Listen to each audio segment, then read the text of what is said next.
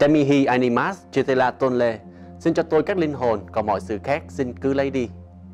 Xin chào quý vị và các bạn trẻ đến với chuyên mục điểm tin của kênh truyền thông Salesian Don Bosco với các tin sau. Chuyến kinh lý ngoại thường của cha tổng cố vấn truyền giáo đến phụ tỉnh Mông Cổ. Học viện Don Bosco Đà Lạt khai giảng năm học mới 2023-2024. Cộng thể thần học Philip Vinandi Xuân Hiệp, thánh lễ tĩnh tâm đầu năm và trao áo giáo sĩ. Gia Lai, cộng thể Raider Ngon Khóp khóa học kỹ năng sống và học tập tại làng Nút. Học viện Thần học Don khai giảng năm học mới 2023-2024. Khóa định hướng dành cho các nhà truyền giáo mới năm 2023. Chuyến viếng thăm của Đức Thánh Cha tới Mông Cổ, gia đình Sa tham gia vào công tác chuẩn bị việc tiếp đón Đức Thánh Cha. Sau đây xin mời quý vị và các bạn trẻ cùng theo dõi phần tin chi tiết. Chuyến kinh lý ngoại thường của cha tổng cố vấn truyền giáo đến phụ tỉnh Mông Cổ. Vào ngày 21 tháng 8, cha Alfred Maravilla, tổng cố vấn truyền giáo đã có chuyến kinh lý ngoại thường đến phụ tỉnh Mông Cổ. Quan hệ ngoại giao giữa Mông Cổ và Vatican đã được chính thức thiết lập vào ngày 4 tháng 4 năm 1992 và nhóm truyền giáo đầu tiên, ba thành viên của tu hội Trái tim vô nhiễm nguyên tội mẹ Maria, CICM, đã đến đây vào ngày 10 tháng 7 năm 1992. Những người Salesian đầu tiên đến Mông Cổ vào năm 2001. Ngày nay có 11 người Salesian làm việc trên đất nước này tại ba điểm hiện diện. Đầu tiên là ở thủ đô Ulaanbaatar, nơi họ điều hành một trung tâm đào tạo kỹ thuật, một trường mẫu giáo dành cho trẻ em. Năm 2005, họ bắt đầu hiện diện tại thành phố Dakhan, nơi không có người công giáo nào.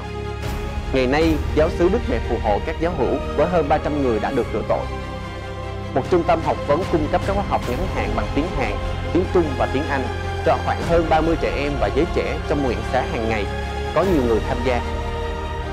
Và sau đó là Suwu, một khu vực ngoại ô thủ đô, nơi có những gia đình nghèo ở nông thôn thường dừng chân một thời gian để chờ tìm việc tại thành phố.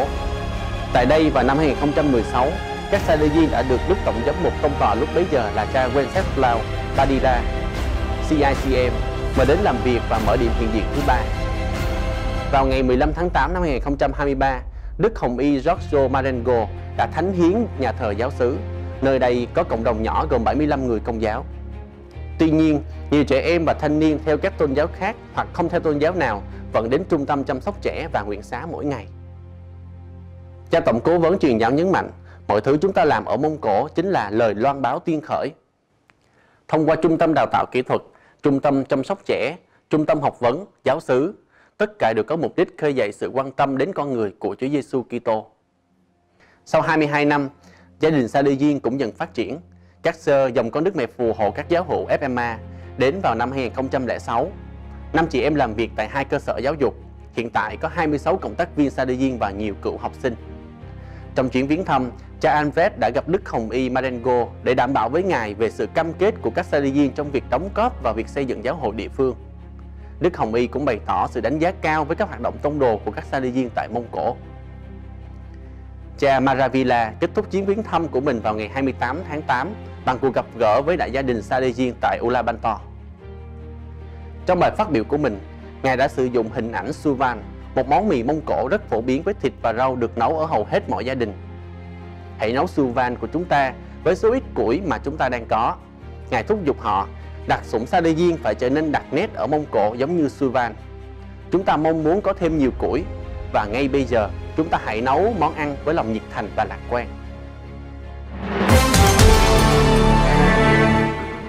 Học viện Don Bosco Đà Lạt khai giảng năm học mới 2023-2024.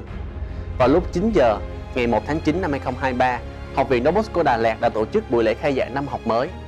Hiện diện trong buổi lễ khai giảng có cha Bạc Lava Lê An Phong giám tỉnh tỉnh dòng Salesian Don Việt Nam, cha Du Xe Đỗ Đức Dũng trưởng ban đào luyện, cha Phêrô Nguyễn Việt Quang Minh trưởng ban mục vụ giới trẻ, cha Tô Ma Vũ Kim Long giám đốc học viện Đông Bosco Đà Lạt.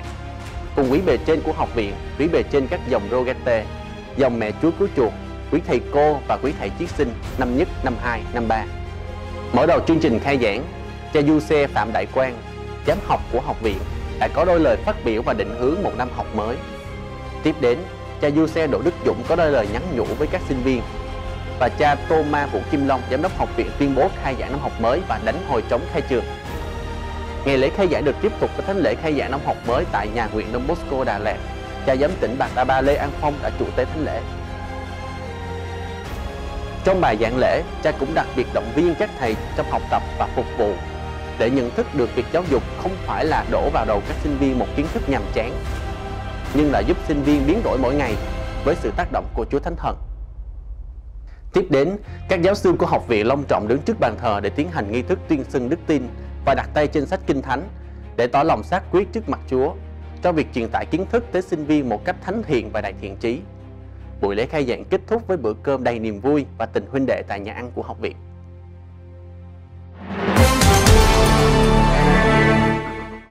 Cộng thể thần học Philip Rinaldi Xuân Hiệp, Thánh lễ tĩnh tâm đầu năm và trao áo giáo sĩ.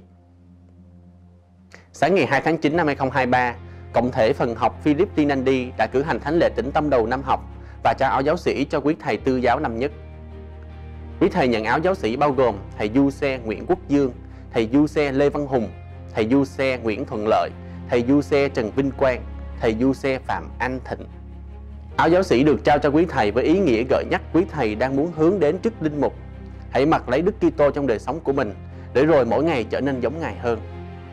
Trong bài giảng, cha giám đốc Du Xe Lê Ngọc Anh SDB đã chia sẻ về ý nghĩa của bài tin mừng hôm nay và Ngài mời gọi quý thầy hãy nhận ra những nén bạc Chúa đã trao gửi để rồi tận tâm phục vụ cho nước Chúa và cho sứ mệnh Salihim.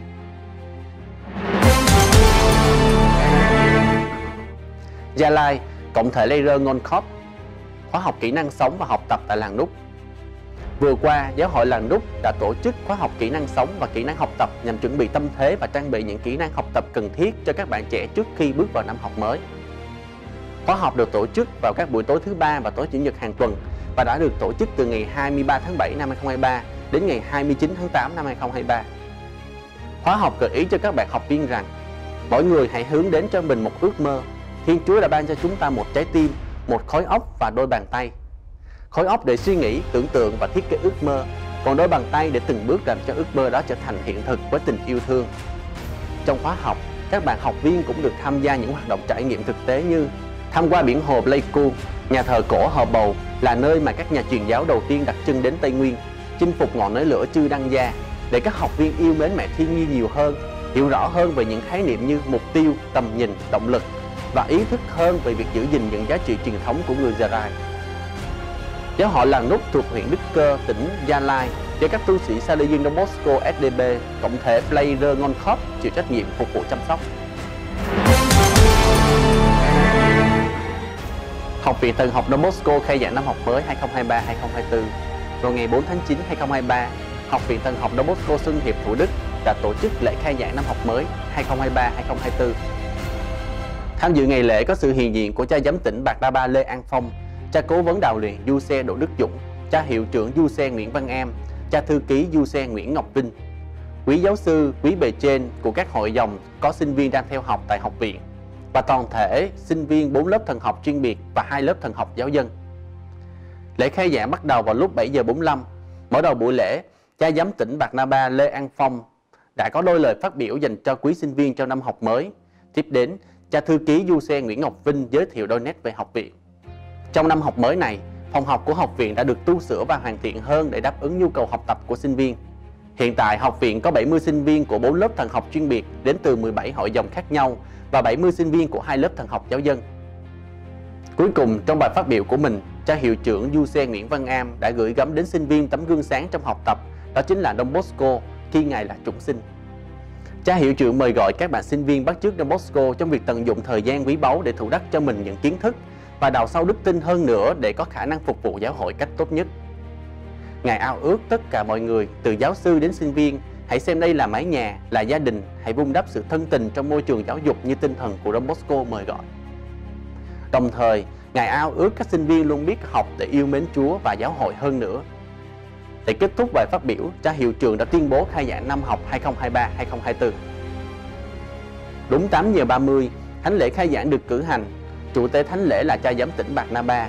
Đồng tế với Ngài có các quý cha giáo, quý cha bề trên các hội dòng và sự tham dự của quý giáo sư và các sinh viên thần học. Mọi người cùng hiệp dân thánh lễ với ý chỉ mà cha chủ tế đã mời gọi để cùng nhau xin ơn Chúa Thánh Thần đến với tất cả mọi người, đặc biệt là ơn biết kính sợ Thiên Chúa. Trong thánh lễ, quý giáo sư cũng đã long trọng tuyên xưng đức tin theo đúng tinh thần giáo luật. Kết thúc buổi lễ, mọi người cùng nhau dùng thức ăn nhẹ và giao lưu trong tình huynh đệ.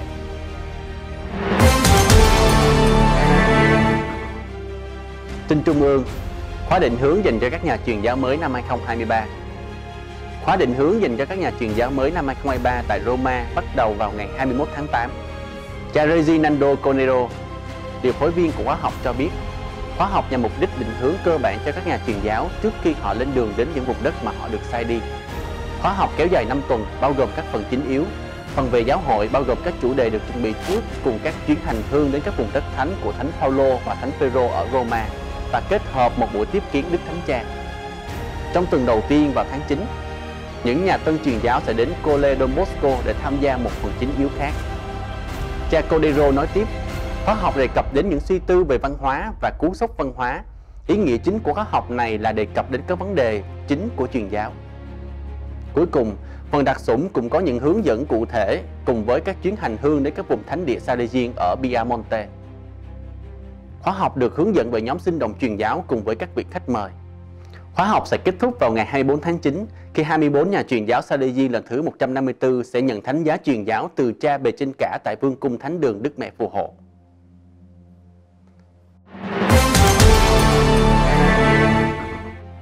Chuyến viếng thăm của Đức Thánh Cha tới Mông Cổ Gia đình Salesian tham gia vào công tác chuẩn bị trong việc tiếp đón Đức Thánh Cha. Từ ngày 1 đến ngày 4 tháng 9 năm 2023, Đức Thánh Cha Francisco sẽ đến Mông Cổ trong chuyến tông du.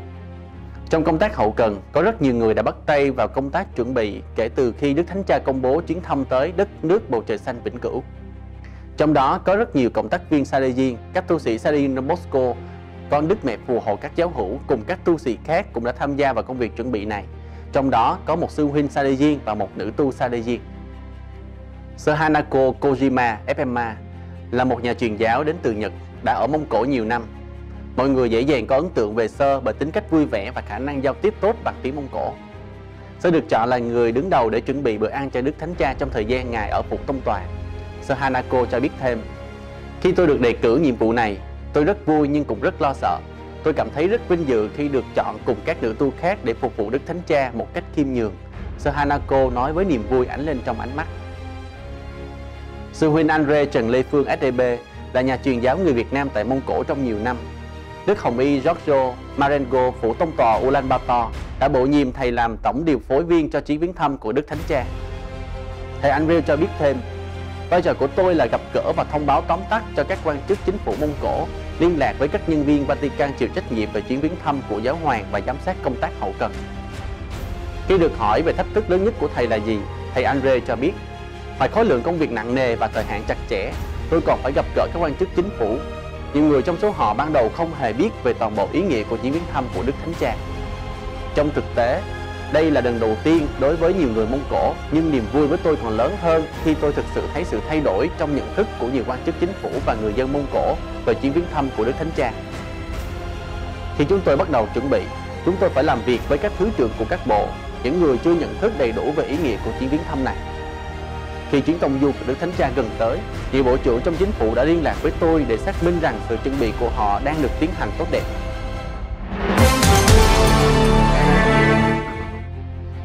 Xin cảm ơn quý vị đã quan tâm và theo dõi.